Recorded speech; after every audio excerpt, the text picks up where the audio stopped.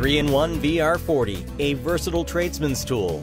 A pocket IR thermometer with an adjustable non-contact voltage detector and built-in flashlight to illuminate low-light work areas. This versatile tool accurately checks surface temperatures and whether a line, cable, or AC outlet is energized. Its bright white LED flashlight is great for low-light work with breaker panels or wires behind devices.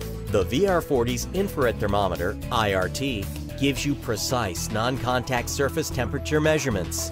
Detect overload currents in motors, electrical conduit, and junction boxes.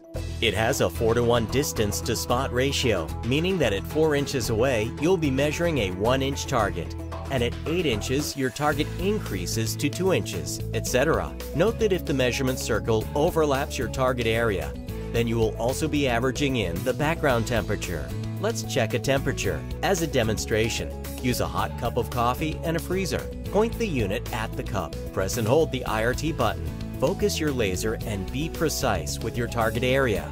The unit displays the temperature for 20 seconds. Note the coffee and freezer temperatures. Next, Put the cup into the freezer and measure again. Hold the VR40 close to the cup and observe what happens when the measurement overlaps the target area.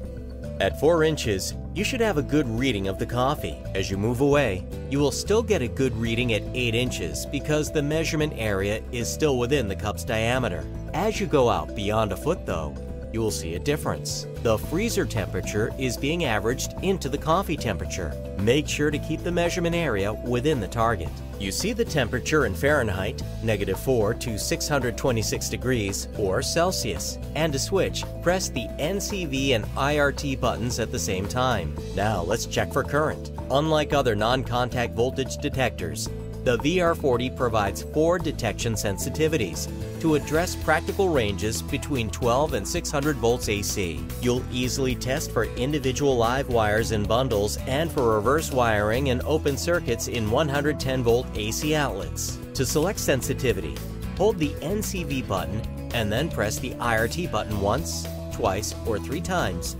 until you see the desired number of bars on the NCV sensitivity level graph at the lower right of the display. The four detection sensitivities are 12 to 25 VAC, 70 to 125 VAC, 150 to 240 VAC, 250 to 1000 VAC. To use maximum non-contact sensitivity, select 4 bars. This will have the greatest non-contact range. We now want to see whether the outlet we just tested is properly wired. So, press and hold the NCV button while inserting the blade tip into one outlet slot, then repeat in the other slot. If the outlet is live and properly wired, the VR40 will beep, and the red LED will flash to indicate voltage only when the tip is inserted into the smaller slot.